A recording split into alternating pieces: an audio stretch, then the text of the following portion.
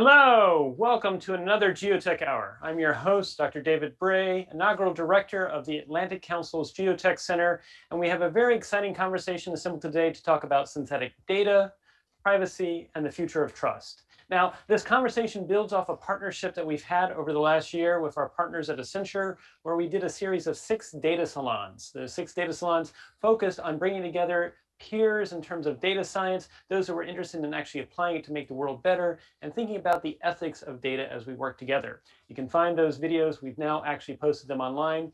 And this conversation is to carry it forward as we address the conversation of synthetic data and how it can be used to address questions about privacy and enhancing the future of trust. And to join us as one of the first panelists, I'd like to actually welcome one of our panelists, who is Steven, who actually, with Accenture, helped us do today's salon. So Steven, if I could ask you one quick to real quick introduce yourself, and then two, maybe sort of, could you tell us, well, what is synthetic data and, and how can it actually help us address questions about privacy and trust? Thank you, David. Hi, I'm Steven Tiell. I lead uh, responsible innovation at Accenture. And I, am also a non-resident senior fellow at the Atlantic Council Geotech Center. Um, maybe if I could take your question and, and backwards, uh, the last part first. You know, the, the, the two things that we really see as drivers for synthetic data, I'll look at both industry and kind of a, a you know, regulatory side of things, if you will. So the first is we see strong demand in, in banking. Um, this is for things such as anti-fraud, anti-money laundering, uh, interbank collaborations, improving equitable access to capital, uh, things like that. Um, we also see uh, strong interest in healthcare, and this is really around the ability to share data, ability to do deep insights. And then um, the regulatory side of things, you know, we're, we're seeing that, that a, a, changing landscape of privacy policy around the world is, is causing a lot of organizations to look for, you know, how do I really go beyond? How do I have this not be an impediment to my business, but maybe a strategic uh, enabler for, for, you know, my business being able to carry on where there might be barriers to entry for others. And synthetic data can provide that by, by really, you know, kind of sidestepping a lot of the, the privacy concerns because there is no uh, personal information or personally identifiable information, you know, within that synthetic data set. And then on the, the trust side, you know, how synthetic data helps to build trust is that, you know, one, it's privacy preserving. Um, there is no information about individuals that is, is uh, contained within those, those synthetic data sets. Um, it also allows for things like statistical testing of fairness, for data sharing, um, as I said before, without private information being exchanged and some other benefits as well. So there's a lot of you know, compelling reasons to look at it, um, and particularly so in specific industries. Excellent, and I appreciate that really sort of illustrating why it's important and how it matters. And, and, maybe real quick, if I could ask you a real quick rejoinder, Steven. So if we if we look at it, that synthetic data is really, again, as you said, it, doesn't have any personal identifiable information, but it's still actionable and useful. What are you seeing in terms of drivers in the marketplace that, that actually sort of, you know, you mentioned some what you're seeing in banking and things like that, but are there other drivers that you're seeing that's creating demand signals here? Yeah, I, I think too that, you know, without the regulatory side, without the specific industries, what we see is that a lot of um, you know, people, specifically younger people who have joined organizations in the last few years are really holding their, their employers to a higher standard. Um, they're saying, you know, there's technology out there. Yes, it is, it is kind of cutting edge, um, but there are ways that we can do things better. And synthetic data is simply, you know, one of the tools in the toolbox of doing things better. Excellent. Well, thank you, Steven, for everything that you do as a positive change agent with data. And I look forward to diving deeper with you as we talk about this with the other panelists. And that's a good segue now to Stuart. Stuart, real quick, if you could introduce yourself, and, and you've written a book in which you talk about synthetic data as being the perfect privacy storm. Uh, could you tell us a little bit more about, once you introduce yourself, about that book and, and why you think it's really the perfect storm when it comes to privacy? Sure, thanks, David. So last year I served as a fellow at the Woodrow Wilson International Center for Scholars in Washington, DC, and I had the privilege to spend the entire year doing a deep dive into digital privacy policy and all of its ramifications. So the perfect storm is really a metaphor, if you will, for all of the different forces that are now coalescing in terms of the policy community and thinking about digital privacy. So beginning in 2018, the European Union enacted the General Data Protection Regulation, which is the umbrella privacy regulation that's now being implemented by the individual states of the EU.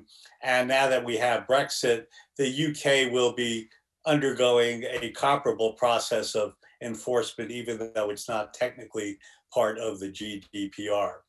Then in 19, 2019, California enacted the CCPA, the California Consumer Privacy Act, and that was the probably the broadest federal or statewide act in the United States. In part, it looks a bit like the GDPR, but it has a number of other elements in it. And that began a momentum of states. So we now have 20 states which are considering or have enacted uh, digital privacy laws. Most recently, we have the state of Maine enacting. There's a privacy bill on the desk of the governor of Virginia, which is expected to be signed very soon. And most critically, some of our largest states, including New York, Texas, uh, Florida, Illinois, and Pennsylvania, have initiated some legislative active uh, activities in the area. So what we see is a lot of activity at the state level, and of course that leaves the federal level. So in the 116th Congress, which was the most recent Congress, there were four pieces of legislation that were introduced in this area. Very interestingly, introduced by Republicans and Democrats, Hmm. but there's no bipartisan consensus. And so we have separate bills from the individual parties. We also have two legislative drafts. And of course, since March of last year, we have COVID 19, which really, I think, underscores the intensity of data use. Obviously, we're all working at home and living our lives at home as well. And so we have more people now who are sending and storing and transmitting uh, personal information. And so really we have a sort of a tsunami of information which continues to well up. So where does that put synthetic data? So as I've illustrated here, most of the policy discussion has been in the area of legislation and regulation.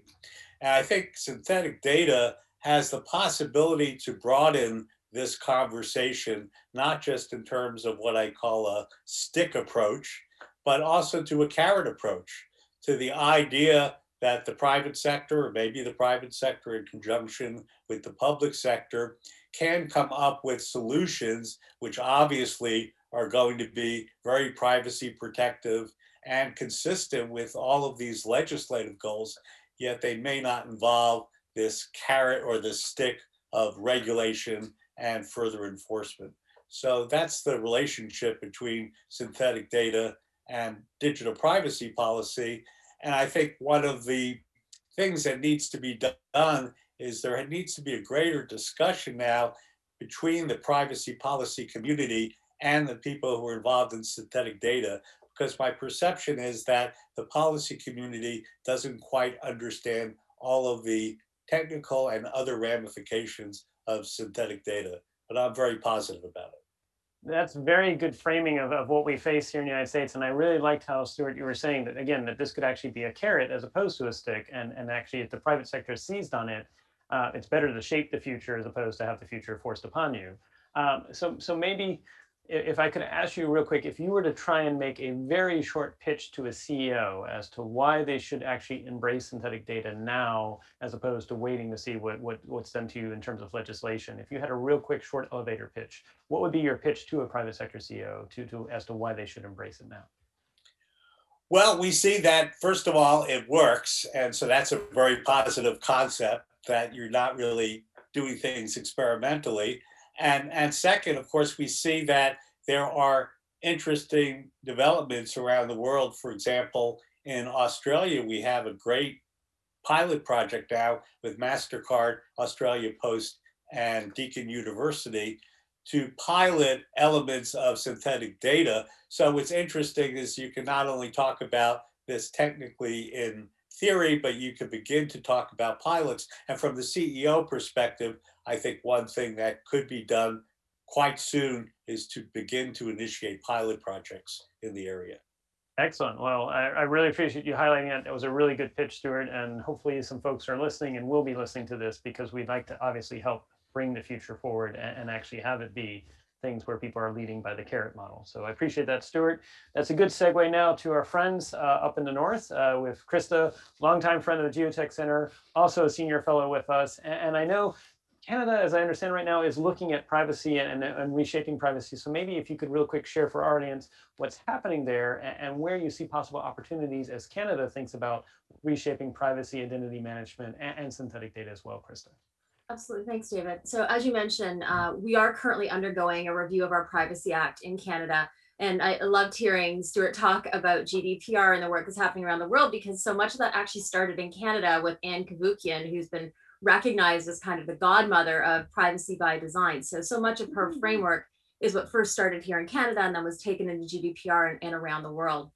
And so we've really had this idea of that privacy centric model at the core of so much of our innovation here. And I get really excited when we start talking about synthetic data because where we're really seeing innovation happening is in the healthcare sector.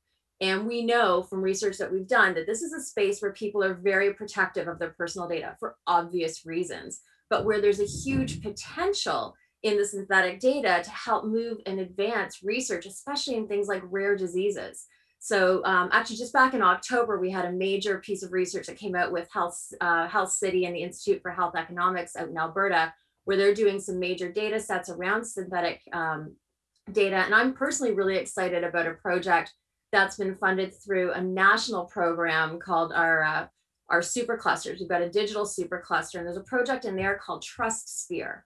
And this is a partnership, to your point, on public, private, and, uh, and nonprofit. This is between the BC Children's Hospital, SecureKey, and Identos looking at type 1 diabetes and starting to create data trust there and approaching this idea of data donors. And if we take that idea of data donors and then extrapolate that into synthetic data, we start to get to this idea of what could we do that is privacy enhancing that enables us to do research into highly vulnerable populations. Here we're talking about kids and illness. So uh, it's, it's something that we haven't traditionally wanted to touch at scale and nobody wants to hold that data set because of the liability. Then we're starting to get into some really exciting potential around these use cases. So while like Steven, I love the, the financial services application, I get really excited about the healthcare implications and where this can go. Um, I have a little girl who lives up the street from me who has SMA Mm-hmm. an extremely rare disease with populations around the world. And the treatment for this is a vaccine that is several millions of dollars. And it is heartbreaking to see parents trying to fundraise for that. And that's where synthetic data could come in. If we could start to create these data sets that are anonymized around the world and reduce the cost of research, we could be leveraging these tools to make a massive impact on the healthcare center. So those are the places that I get really excited about. And I'm seeing our our privacy legislation aligned to start to understand that privacy can actually be an enabler of innovation. I think synthetic data is one of those examples rather than a barrier. And to those who are listening, I'd say, how might you think about privacy as that enabler of innovation as opposed to the barrier? Excellent. Well, very well said, Chris. And then you're absolutely, I mean, I'm similarly like you, is that we, you know, it, it, even though nobody wants to necessarily touch the data of this is the sensitivity level of children, if we don't address this and maybe synthetic data obviously clearly is a way that we can do it to actually make it safer, we're not going to be able to actually bring down the cost of researching cures and making these cures affordable. So that's very well framed as, as, as, a value proposition. So so maybe for our audience that, you know, I know I know you and I have had conversations in the past about data trust and data co-ops, but for our audience that may not know about it, real quick, could you maybe share what a data trust or data co-op is and how synthetic data might actually be formed as a part of a data co-op or data trust? Absolutely. So a data trust is where you have large groups of individuals who are effectively becoming data donors. So you're contributing your data into a data set for researchers to use within a prescribed mandate. And that is critical. Um, we've certainly had cases here in Canada where data has been given, or in fact, blood has been given for one intended purpose, and then it's been used for other things.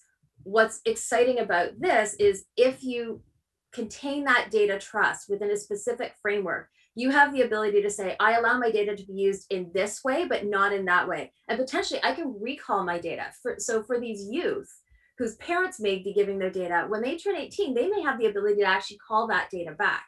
Hmm. Take that a step further into synthetic data, then we can take out that known identity, those personal identifiers, and create basically a look-alike data set that researchers can then use, knowing that it's based on real life data, but no longer identifiable to an individual. And that gives longer use case to those data sets. So it gets really exciting, especially that combination of data trusts and synthetic data. Wow. And I can only imagine for data scientists, they can then use the synthetic data with, with a little bit more confidence that they don't necessarily have all the tripwires that would come if this was actually like truly people's private health records and things. Well, like it's, it's both, I think, David, it's both that. It doesn't have the tripwires of personal data, but it also, you avoid some of the biases that come if we use pure AI generated data sets. Right. So there's, there's an interesting balance there that tends to give us at least hopefully slightly less bias. Very well said. Well, well, thank you for that, Krista. Look forward to diving deeper with you. And now we'd actually like to welcome to the show um, friend of the Geotech Center and, and someone we hope to get involved more with the events that we're doing. So Jacqueline, real quick, could you introduce yourself? And you're coming to us from South Africa. So one, we appreciate you making the time zone jump uh, to join us for the live show here today. And two, what are you seeing on the African continent that involving synthetic data and how it might have beneficial applications uh, in the region there as well? Hi, hi. Thanks, David, um, and thanks to the Geotech Center. Um, so I'm a lawyer by background, and a lot of my work in recent years has really been advising African governments on various technology-related uh, laws. Um, and so I guess something that I am seeing across the continent is a lot more countries thinking deeper about privacy, um, about cybersecurity, and the like. In part, just because you know proliferation of the internet. Um, in part, really trying to start thinking forward about how to set up locations to attract investment in technology. So we see Silicon Savannah in Kenya, but also here in South Africa and Nigeria, very strong potential hubs to attract investment. Uh, now, from a regulatory reform perspective, at the moment, there are about 17 out of 55 countries that have privacy laws. So, still a long way to go. But all that to say, there is work in motion. Um, I think what we're trying to work on, uh, not only as far as not only getting the laws in place, but also making sure that there is this balance between you know government trying to regulate but also making sure that the environment doesn't stifle innovation. And so that's something that um, we've been working really hard on to say it's okay to legislate but make sure you know we can attract investment and people here can really innovate for good. Um, on the synthetic data aspect, unfortunately, not too many use cases from the continent, but that's why I think this this conversation is really exciting because um, from a financial services perspective, uh, we've seen with the rise of M-Pesa just a lot more financial innovation across the continent. Financial inclusion and financial health are huge topics, uh, not only from a development perspective, but also from an investment perspective. And so I really hope that this conversation can start to spur more conversation on the continent about how we can use synthetic data to come up with more useful um, products and services. Same thing from a health perspective. Unfortunately, we're laden with some of the hardest um, diseases and fastest spreading diseases on the continent. And I do think that now is a perfect time, even as we're dealing with COVID 19, to really put the application of synthetic data to some of the other diseases that we've been battling with over time. Um, just a few other things that I guess I'm seeing here on the continent um, is just kind of as other parts of the world, so for instance, the EU and GDPR and the US really come up with um, privacy laws. The question is, what's the applicability here? Um, and I think that idea of, you know, how does this apply to us is one that a lot of jurisdictions are really still trying to figure out. Um, so this idea of kind of cross-continental compliance, um, I think is one that really has a lot of us just questioning. We don't yet have data, for instance, um, on whether there have been any uh, breaches as far as GDPR and you know um, let me say, companies on the continent. But that's an area that we're really looking forward to, to really seeing how can we, as we develop legal systems, how can we learn, but also collaborate with other parts of the world? Excellent. Very well said, Jacqueline. And, and, and, and not to put you on a spot, but you know, we've heard from the new president of the United States that he's thinking about holding a summit of democracies sometime later this year. And obviously, a lot of democracies present in Africa. If you were to recommend, you know, whether it be financial inclusion or some other topic, some topics that, that you think should be brought to that summit of democracies from, from the perspective that you have as a lawyer, but also what you're seeing in the region, what might be some things that you might actually elevate as, as ideas for that topic and that agenda? I think one of the main areas is as we talk about governance in general, I think there's kind of a question of how do we define what African democracy is? Um, I think we've kind of used the textbook of democracy from outside Africa, but what we've seen over time is that governance processes have evolved. Um, people started off thinking that you know democracy was just voting, but now is a perfect time to really engage people to understand what good governance is. And I think with respect to technology, what we're seeing is with the open data movement um, increasing across the continent, as governments really decide to engage with their populations online by choice or by force, you know, through the use of social media, what we're starting to see is kind of more engagement. And so I think it would be important to really have a conversation about peace and security, democracy as it relates to kind of where we are at this point, but also the role of technology in engaging people, especially young people. I mean, a majority of the continent is under the age of 35. By 2050, you know, um, by 2050, over half of the continent will be under the age of 25. So, scary statistics about the youth bulge and the youth are online and the youth are engaging with one another. It's about time that we used technology and governments and kind of put everyone in the same conversation to make sure that all of our expectations are managed, but also government really starts to figure out how to best deliver to citizens.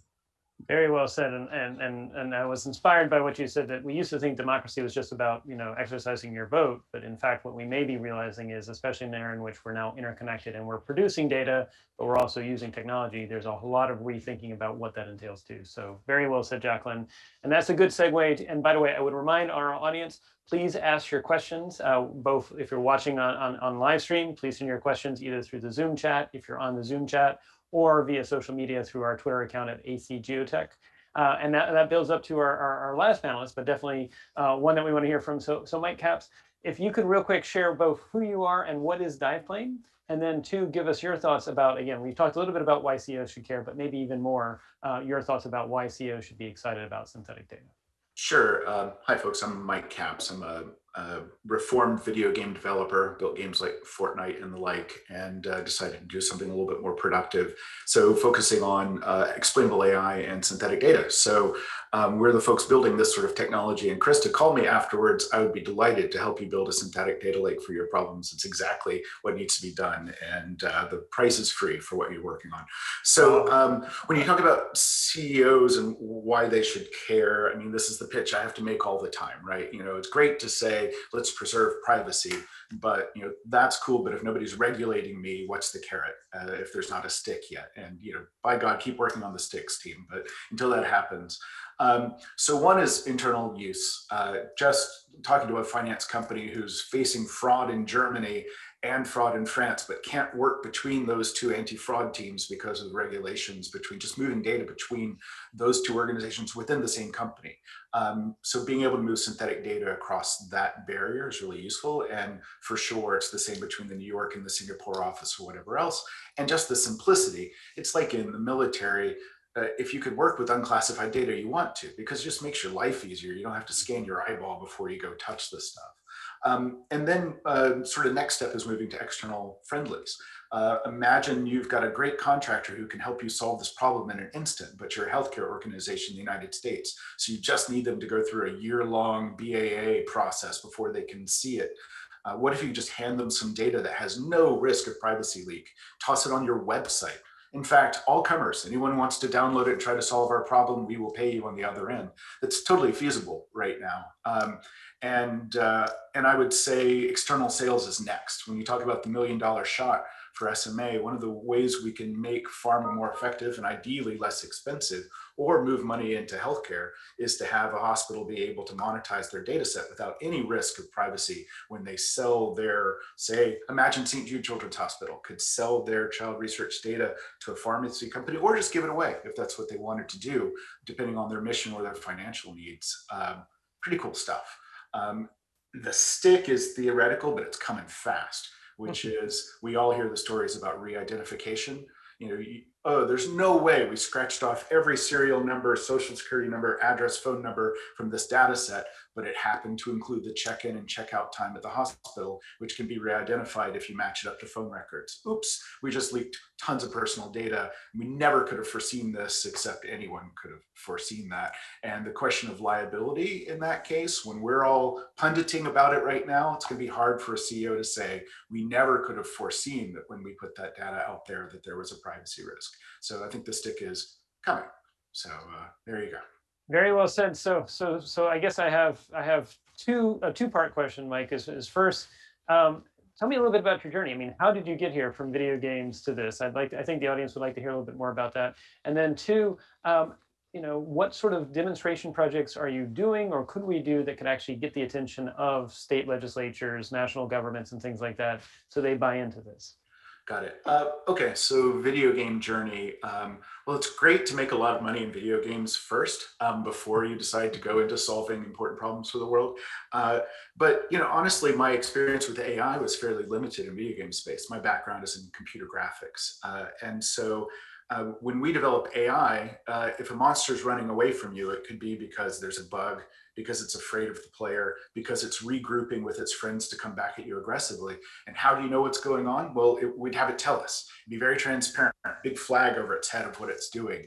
And then as I got into what's really going on in AI in the world, it's the exact opposite of that, where nobody has any idea whether that system is shallowly learning or buggy or amazing. And that scared the Jesus out of me. Uh, and so really that's the, the start was getting into explainable machine learning, building technology that's fully transparent one of the neat things we've built this cool platform which some other day we'll talk about. One of the neat things about it is it's really good at encapsulating knowledge from a small data set which turns out to be just what you need for data synthesis. So i didn't get into the data privacy business we just happened to build a really good solution that's really easy to use. So i how can you not proliferate something that helps data privacy? That's that's my data my kids data. Um, so uh, so that was one, and then I can't even remember question number two. What Oh, was question it? number two is, so if, if, if, if, you know, if policymakers need to see something to actually believe it, so what are either things you're doing or what are things that we could do as demonstration projects to, to sort of capture the imagination of staffers, members in government and things like that? Well, so um, you know, I just got off a call with a couple ex-secretaries of defense, and there's a lot of interest in the um, sort of human services, defense, and um, sort of protection side of the government. Imagine the next Katrina or the next COVID. So, what could we have done beforehand to have those be less impactful and that our country could be more resilient? And there's a lot of interest actually in synthetic data lakes because the Johnsons and Johnsons, well, you know, Mastercards, any of the companies that wouldn't mind sharing their data in an emergency don't want to share it all the time. And how do you manage that? Which is sort of what Krista's tackling. Imagine they can just put their synthetic data in and say, this may not be, for example, all of the Samsung IoT information from my great state of North Carolina for everyone. That would be super private information. But if it was a synthesized version of that, and then when we have a problem, whether it's a COVID or a hurricane or whatever, that would be a wealth of information to feed to first responders uh, or DHS. And so I think there's a lot of interest. If we can't solve the problem the way we'd want to, then how do we solve it? And then synthetic data is, I, have been talking to senators about it, which is just where it needs to be. So I'm Excellent. Well, and, and on that note, I mean, if you're open to it later, we have a geotech commission that does have Senator Mark Warner uh, from Virginia, Senator Rob Portman from Ohio, and we're producing recommendations for them. So if you can spare just a little bit, we'd love to actually have your recommendations feed in that as well. I It's my full-time job. I'm delighted to. No All problem. right. Well, I appreciate it. So, so thank you for that, Mike. And now we'd actually like to welcome a longtime friend of the Geotech Center, going back even before the Geotech Center was a Geotech Center, Jeff Frazier. Who is also a senior fellow. He is actually, he's been instrumental in actually pulling together this panel and he actually has the first question. So over to you, Jeff, with the first sort of question for the panelists here. Well, they, they've already covered all the terrific topics. Um, I, I, th- uh, thank you, David. You put together really a terrific group of experienced opinion leaders on the topic. Uh, it's a growing top, uh, certainly a, an important topic. A couple things. If uh, my question is more directed to, to Dr. Capps. Um, years ago, my I worked my former boss. I worked for the chairman at Cisco, and he used to say, "Watch the leaders in a category move to other categories and understand why they do that." And so, if you're between the age of you know six and 26 and the world you're familiar with uh, Epic Games or have an affinity for it, which in, or as parents we know it as Fortnite. And so the que- the question with the with the follow up question was, uh, having successfully led a category in industry and, and gaming, what did you see, or what did you not see, uh, in the role of data and advanced AI that made you want to lead a new category? And then the second part of that is um, how do you see the commercial side of synthetic data forming? Because it's a, I think it's going to be a giant impact to all of our industries. And I'd just like to see what you're seeing early. Ooh, okay. Um, thanks for the question, Jeff. Uh, so I would say on the what do I see happening in the marketplace, there's definitely leaders that have, let's just say, the discretionary budget to put into an effort like this to test because they see the value of it. I think that market's going to explode very quickly when the sticks come. Right now, it's it's still carrots. It's still forward-thinking organizations like a um, UBS or Mastercard, whoever, that are doing this kind of work internally because they see the benefits, and a few healthcare organizations and the like that that see the benefits. Uh, governments, uh, but boy, is that going to change really fast because almost every healthcare org I talk to uses really primitive masking technology. You know, literally just censoring with a black pen um, what they're doing. Um, and then you asked about the shift. You know, I'd say one of the things that I saw in video games that became really troubling to me is the shift went from, uh, I'll put it in movie terms because everybody here watches movies. The shift went from two hour really good movies to TikTok and YouTube. And so what happened was the job was to monetize psychological warfare. Um, it's absolutely about reciprocity techniques to David gives Krista a gift in the game because we help him to do so. And then she feels like she owes him one, so she can't quit. And now we've created this cycle of we're individualizing the sale per person. For you, Jeff, it's 20 cents. And for Jacqueline, it's 15 cents or 30 cents, depending on the day and your mood. And we're watching all that. It really presaged some of Cambridge Analytica and what you can do with data and people and that's not a really fun business for entertainment, right? I mean, that's become the game of video games. And I was delighted to get away from that uh, and work on something a little bit more meaty, let's say. So uh, there you go. Well, thank you for your leadership. Like, really appreciate it. And thank you, Jeff, as well, um, for everything you're doing to help bring together thinking about how data and tech is changing the world and changing societies. Uh, I'm actually going to go to some of the additional questions we've gotten um, so far. We've got about three open ones. We've got some other ones we may circle back to. Uh, this one I actually want to go to Steven on, which actually asks the question um, from a data science perspective, how do you ensure that the data set is a representative of the original data set, um, recognizing it as a synthetic one? Yeah, actually, um, I think I think Mike is going to have a much better answer on that. So I'll Okay. I'll uh, push it over to him. Um, I I've heard his answer to this, and I know it's better. So All right, sounds good. Thank you, Steven. Over to you, Mike. Then. I'm getting a lot of airtime here. I was I was literally typing in the background to answer that question. So I mean, I think representative is per purpose, right? It's a domain specific question. If what you're trying to say is, does it actually um, include all the mathematics of the original set? Most people care more about analyzing closeness of the synthetic set to the original set to make sure you haven't uh, crossed a boundary and you've actually put Dr. David Bray in your new set. and Anybody can find that. Um, and so, you know, for example, if you're using this to train a neural net, uh, here's an example. We did a system for missile targeting where they wanted to use missile uh, trajectories to train a new missile AI? Well, you would train it with both the original set and the new set and see how well they performed. Know, was it useful enough? Because it was for a specific problem. And so that's the only measure of quality that mattered.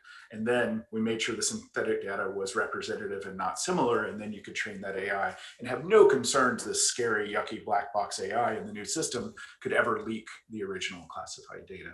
Um, but uh, there's not a lot of uh, publications in that space. Um, it's relatively new. Um, so I would just say make sure it solves the problem you're trying to solve as opposed to uh, there being a true answer. Very well And said. if- if maybe I could build on that just a little bit.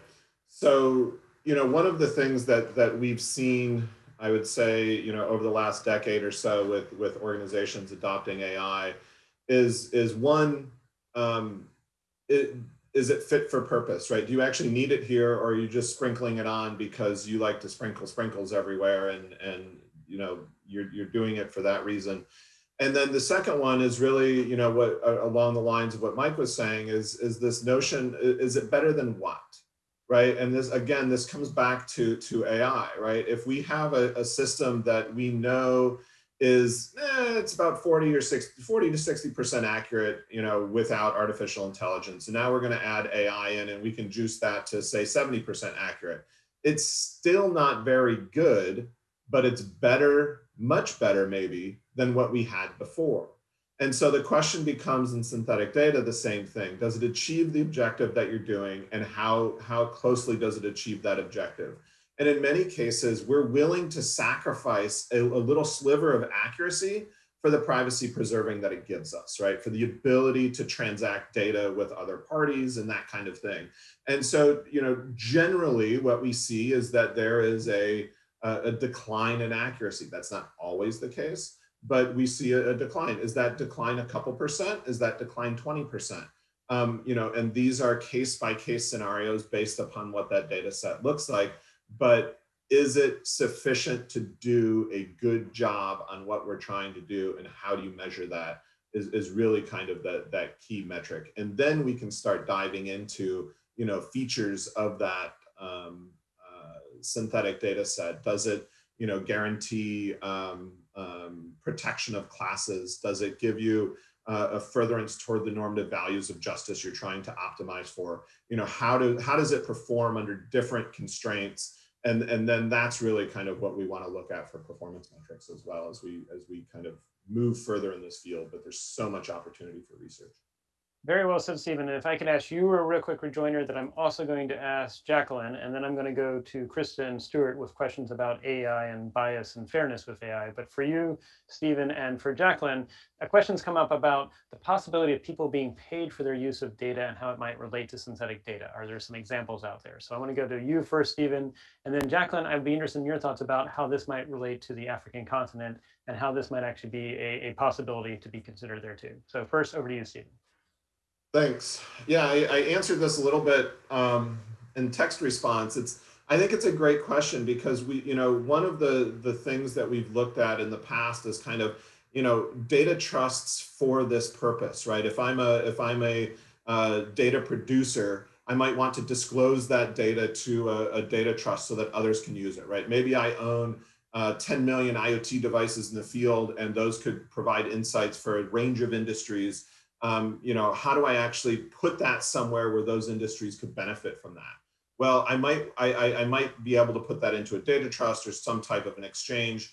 Um, but then on the micro scale, right, on the individual contributions, I think we saw, you know, when Microsoft bought LinkedIn, it was something, you know, the, the value I want to say per record was something like six dollars, right? So, so we, we've actually been able to put a value on a single record in a very large data set what does that look like right? Those individuals did not get get paid out some uh, you know restitution or or, or remuneration for um, their data being part of that but certainly their data added to the value of that data set.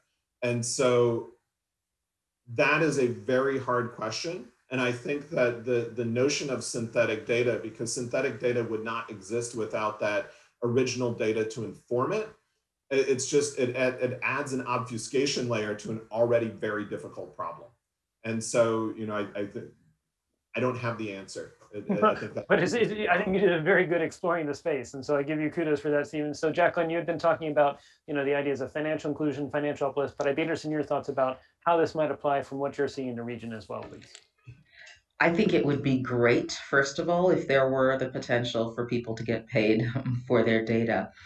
Unfortunately, at the moment, I don't think we're there yet. What we are seeing is, for instance, as you mentioned, financial inclusion, where people who typically were not included, did not have access to a bank account or any form of financial services, are now able to, for instance, um, use their phone records um, to determine, you know, how bankable they'll really be or how creditworthy they'll be, and those credit um, those credit scores are then used later on to allow them to access financial services.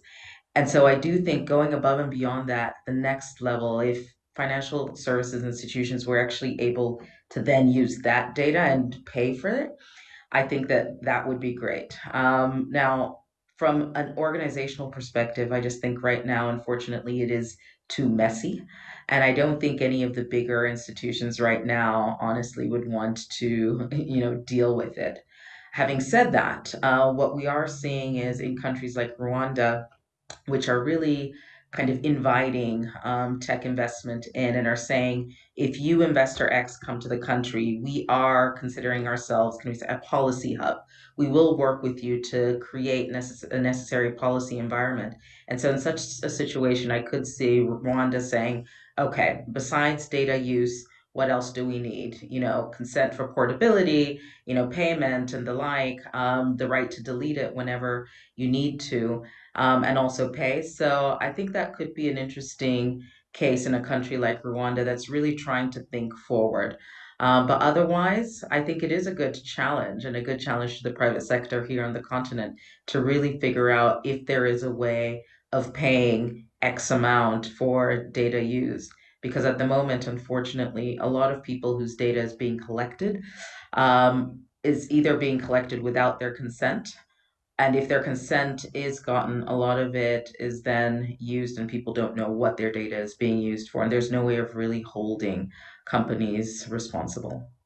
Very well said, and I appreciate that, Jacqueline. And, and uh, we can look to the future. Maybe we need to start doing a demonstration project to help sort of overcome that bystander effect where everybody thinks it's useful, but like you said, we have to galvanize people. So Stuart, I'd like to go to you and then to Krista. Uh, a question about, you know, concerns about data biased or, or there being, we actually have a question from Pat who's actually asking about various biases in terms of either race, gender, ethnicity, or age uh, in the data set that we should be aware of here. And so I'd be interested first, Stuart, in your thoughts about you know, what are you seeing in terms of either concerns there? Um, are legislatures starting to show concerns as well to make sure the data sets are representative? I'd be interested in your thoughts, Stuart, in terms of what you're seeing in trends in that space.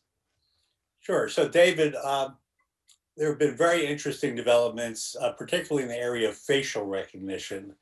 And obviously, during the past year or so, with some of the situations we've had around the country, we've had more police forces and law enforcement now involved in thinking about or purchasing facial recognition systems. And we've seen some of the data which shows that in terms of being able to identify or misidentify based on racial categories, for example, uh, it tends to be about a 30% error rate. So Mm. obviously that's a major policy concern for many uh, cities in particular. In, in California, for example, both San Francisco and Oakland have banned the use of facial recognition by law enforcement. And in Massachusetts, Boston has as well. In addition to a number of smaller cities, Massachusetts may become the first state in the country to essentially prohibit facial recognition by law enforcement. Uh, and then in New York City, for example, we had some proposals last year dealing with private landlords, whether or not they could use facial recognition in terms of swapping out their existing key systems for a facial recognition system. There was a proposal that, in fact, they would not be able to do that. They would have to stay with a manual key system. So I think there's going to be a lot of activity in this area. And we see the data showing us that although the systems are improving, when you have a 30% error rate, it certainly shows that there are real issues here. And obviously, that also creates the great window potentially for synthetic data, which can improve that error rate. Very well said, and I appreciate it, Stuart. And I think that's a good. This is it's a good overview of both the space we're in and then the solutions that synthetic data can do to try and overcome some of those challenges. And that's a good setup for Krista. So, Krista, I was going to go to you because there was a question that was similar to the question about AI bias, but we also just got one from longtime friend of the Geotech Center, you know well too, Divya. Divya was actually asking a question about India and their biometric system. But I know, for example, you've been very instrumental in thinking about identity management in the context of, of Canada and how we can make sure that it's done in such a way that is protected, that we're not revealing too much data. And so I'd be interested in your thoughts about what can we learn from Canada that might inform India or other places in the world as well. Absolutely. Um, so there's one thing that we've been talking about here that I find interesting is we're saying my data. And that's one of the things we I think we have to challenge to start with is, is it my data or is it data about me? And so part of the context that we're looking at is it's data about me. And if we take, because it's very difficult to prove what is purely my data. Um, so if we start talking about data about me, then that starts to fit within a framework conversation of what are the privacy rules we want around it? How do we want to manage it? What are some of the governance rules that we want to think about? In Canada, we've created something called the Pan Canadian Trust Framework. And that's been a collaboration between the government and the private sector coming together to create a framework based on privacy by design that says interoperability is the key component here. We are not trying to find a single solution that is going to work in all jurisdictions and across all platforms. What we do want to find is a common framework that we can all agree to that will allow interoperability, A, within Canada, but I mean, it's probably probably the nature of Canada being bilingual and being just north of the US. We tend to be international by perspective. So we look and say, how does this work not just within our federation, but also on an international basis? So the standards and frameworks that we've been looking at has been with that lens of interoperability and considering i think probably our indigenous population has had an influence on this is looking at it not just at an individual level but looking at a community level and i know david you had dr tahu kukutai on a while ago talking about indigenous data principles and how things like sharing medical information for the maori in new zealand is not a personal, it's not about my data. That is actually perceived to be data of the community. So then what right do I as an individual have to share that? Those are some of the things that we've been trying to build into these considerations. And, and those are big questions. I don't think we're going to answer them right now, but to, to Divya and to others um, who are thinking about these questions, we need to think about it less as my data from an individualistic perspective and think more about data about me within a broader context and then think about how do we create those interoperable systems? Because we're not going to find the single magic bullet and get everybody to agree to that. It's just not going to happen very well said. And, and I also want to give a shout out for the data salon that you did, Krista, with us. Uh, we'll definitely make sure we include it in the links from this episode because it was a very worthwhile watch. And, and what I like about what you're sharing is it is about thinking about interoperability, recognizing there is not going to be one solution that fits them all. And I, and I also liked how you elevated thinking about the indigenous uh, data communities approach. I believe they talk about their CARE standards in which the C stands for collectiveness and that we need to recognize that it is data about me, but it's part of a larger whole, especially when you start thinking about family data or DNA data. It's really about people beyond just ourselves.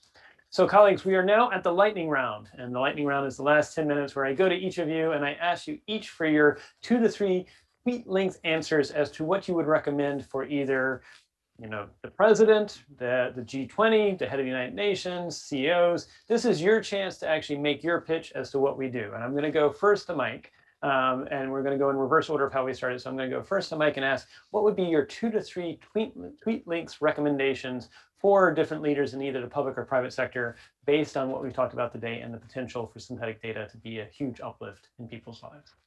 Got it. Um, so I'd say synthetic data techniques are available right now you can buy them. There's 10 companies selling them. Um, so it's not distant future.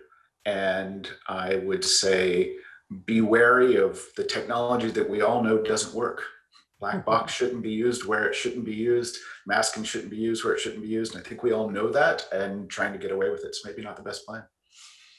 Very well said and very eloquent. Clearly, you have briefed leaders of the world before. We appreciate it, Mike, and we appreciate your insights look forward to having a deeper conversation with you about projects we can do together. That now is a good setup. Now we're going to go to Jacqueline. So what are your two to three tweet length recommendations for the leaders of the world as well? Okay, um, mine are pretty simple.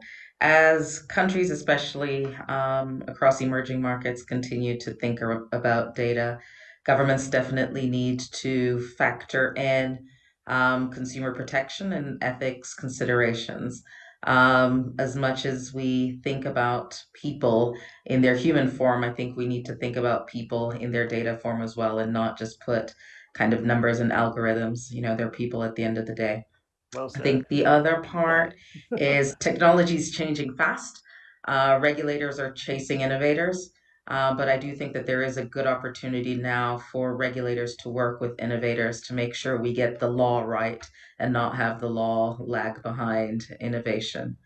Um, I think the last one is really kind of um, collaboration, collaboration. I think this is a perfect opportunity as we all figure it out around the world to work together to figure it out. You know, whether it's in healthcare, financial services, COVID has taught us that we're all together in this fight. So I think there's also, you know, the opportunity now with synthetic data to work together. Very well said. We all stand together, and I wish we had more lawyers like you, Jacqueline, in your mindset, because uh, I think with with with that we can take on any challenge in the world. So so thank you, uh, Krista. Your chance for your two to three tweet link recommendations to world leaders.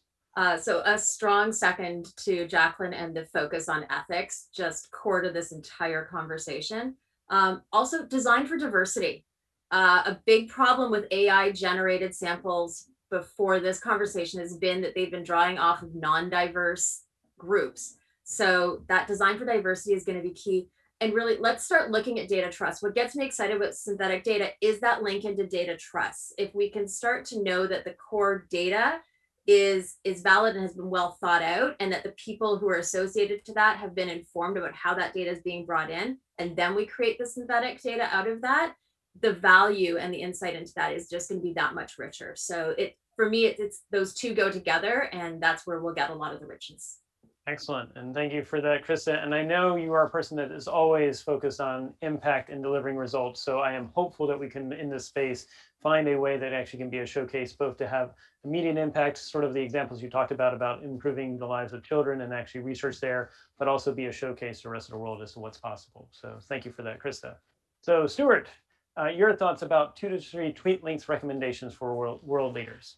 So let's return to the carrot aspect that I talked about earlier. I think uh, one thing that would be important was be to develop some practical carrots. This would be both in the United States and obviously countries around the world, which are in the process of devising their own legislation in this area. What are a few of these? One might be safe harbors. So if you had synthetic data, that would essentially give you a safe harbor from enforcement or from the provisions of the legislation. Another would be antitrust exemption, which would allow companies in the same uh, field to essentially get together and innovate, come up with solutions where antitrust law might currently prevent them from doing so. Uh, also tax credits, you can come up with some focused tax credits for R&D in this synthetic data area. And then another area of focus would be in the international trade field. So there are a number of trade agreements, including most recently the USMCA, which is the successor to NAFTA. And within that, there are provisions now which require Mexico, Canada, and the United States to have ongoing discussions about digital privacy. So clearly, as part of those ongoing discussions, which are required by the treaty, I think uh, synthetic data should be put into that mix. Wow, very well said. And I think you, you underscored that, you know, it is thinking about how we can actually do the carrot model and then how we can actually use the existing treaty to actually work together with our colleagues in Canada. Maybe we should do a future geotech hour if you're open to it with our colleagues in Mexico as well to actually have that conversation and maybe be the change that we want to have happen. But I really appreciate that, Stuart. Those were great recommendations. And so now, Steven, you have the task of bringing it home for us. What are your two to three tweet length recommendations as we close? Yes, we can build on a couple of the, the things uh, some of these other panelists have said as well. you know, I think top of my mind is really focusing on the values and principles that we want to protect and promote, not the individual technologies that we're trying to push. The technologies will follow the policy if we can really hold that higher moral high ground. Um, and it, when we focus on human rights and value privacy above commerce, we can provide equity and inclusion in ways that we really haven't been able to realize before um, and have really been in our ethos. And, and in all of this, we need to include options for recourse or guarantees for recourse to those who are impacted by AIs, whether they realize it or not. Um, you know, maybe more specific for regulators, we should look at ways to limit liability for organizations as a carrot um, for continually improving disclosures in this space as well. So, you know, we want to be able to hold the powerful accountable. We want to be able to look at those power dynamics and we want to level that playing field a little bit more. Extremely well said, and I like you. I like the three in particularly emphasizing making sure we have the moral high ground. We think about equity and inclusion and, and what can be done there, and like you said, holding the powerful accountable and also trying to figure out ways to actually make it a carrot model to move forward. So I thank you for that, Steven. I thank you, Stuart, Krista, Jacqueline, Mike. This has been a really engaging conversation. I thanks for everything that you're doing as positive change agents and to the questions from our audience. And as, as we like to remind everyone at the close of every Geotech Hour, we hope you will be bold, be brave, and be benevolent for the future ahead. I'll see you next time.